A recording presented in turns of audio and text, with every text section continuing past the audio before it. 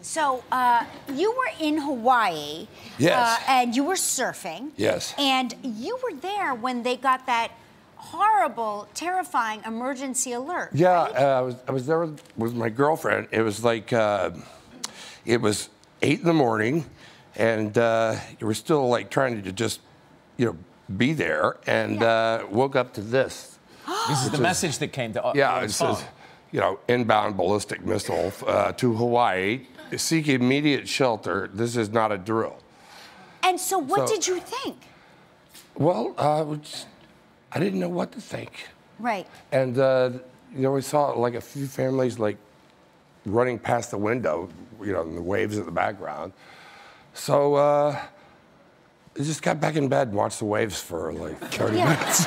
Well, do you know, they, they, I didn't want to be in the I didn't want to be in a uh, in, the basement, you know, in a concrete it was blockhouse. 40, from what I understand and what I read, it was 40 minutes from when you got that alert to Well, this was said- about 20 minutes by the Yeah. time it actually reached the Right.